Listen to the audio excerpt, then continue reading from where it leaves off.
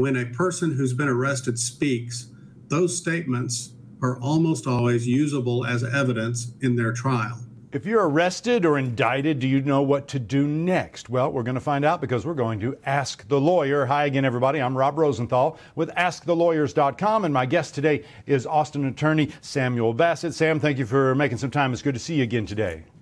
You're welcome. Good to see you again as well. So let's start at the beginning. Someone's been arrested they're, or they're indicted. What do they need to know? What are some of the basic things they need to know about their legal rights in that situation?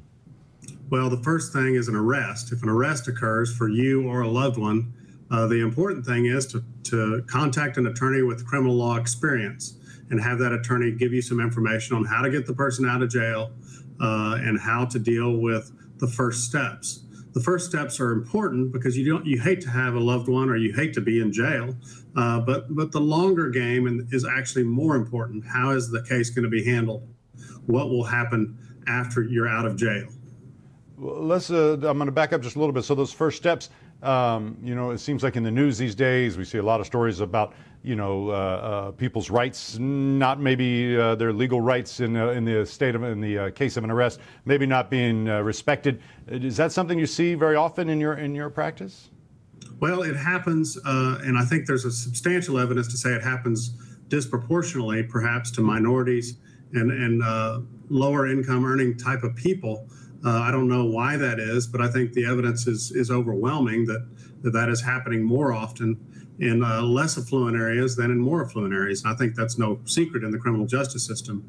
On the other hand, uh, a, qualified legal professional uh, who can help you through that early phase of the process doesn't need to cost a ton of money, but it is an important uh, step to get someone involved who has experience with the system. So we see in the movies and on TV, uh, you get one phone call. Uh, what is that process like? What, what, how does someone begin the process of finding a uh, qualified uh, criminal defense attorney? Well, the, the jail systems are all very different. It depends on the locality and what jail you're in. Uh, some jails have ready access to phones. Some of them don't give you access to phones very often. The most important thing, I think, is if you have an outside contact to work on finding the right person for you, uh, that that's an ideal scenario. If you call up a lawyer out of the phone book or out of the off a website, so to speak, uh, sometimes that lawyer is the right fit and sometimes it's not. But if you have a person on the outside, a loved one mm-hmm. or another person who can do a little research and maybe get some personal referrals, that's really the ideal way to handle it. So that was going to be uh, another question. What, what, how do you know if you're picking the right criminal defense attorney, Sam? Well, you know, lawyers, like everybody else, have jumped on the internet marketing bandwagon. And so just because a lawyer's name comes up first in a Google search, that doesn't necessarily mean that that's the best lawyer. He, he or she may be the best marketer, mm-hmm. uh, but that doesn't always translate to being the best lawyer.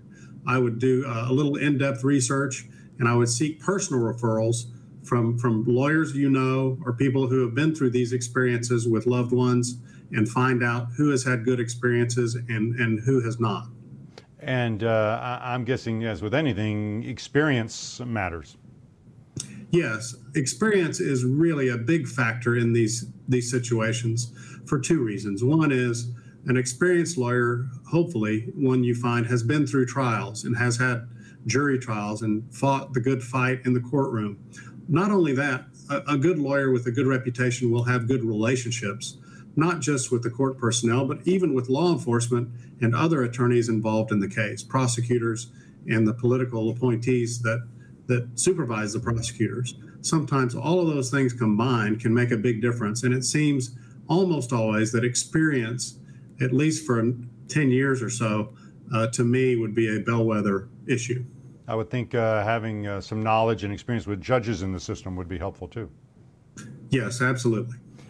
And uh, so, what about a public defender? Explain that a little bit to me. I mean, somebody, how, when is a public defender involved, and uh, what might be a drawback to that? In order to get a public defender, you have to sign an affidavit stating that your income falls below poverty level guidelines. Ah. Uh, in some instances, they'll appoint a public defender for somebody even if they're above those guidelines but essentially counties vary on how they handle a public appointed attorney. Some off, some counties have a public defender's office, which has a staff of attorneys paid by the government and supervised by a supervising public defender to handle cases for indigent people, for people who fall below the poverty guidelines. Um, but many counties, and I think actually most counties in Texas that maybe aren't so populous, mm-hmm. have a little more random assignment of court appointed lawyers for indigent defendants.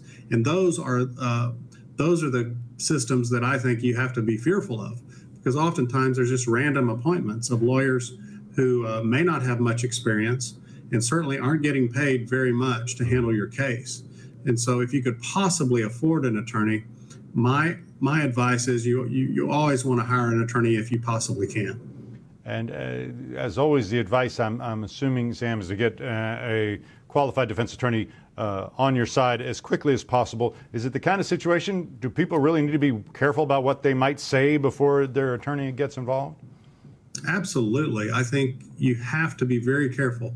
When a person who's been arrested speaks, those statements are almost always usable as evidence in their trial.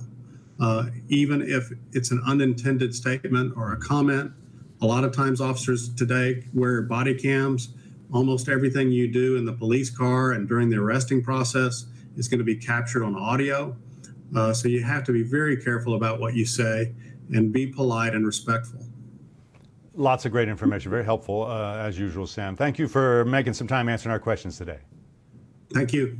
That's going to do it for this episode of Ask the Lawyer. My guest has been Austin attorney Samuel Bassett. If you want the very best information or you'd like to be able to choose a lawyer that lawyers choose, make sure to go to askthelawyers.com. Also, please take a sec to subscribe by clicking the button below so you'll know about future episodes of Ask the Lawyer. Thanks for watching. I'm Rob Rosenthal from askthelawyer.com.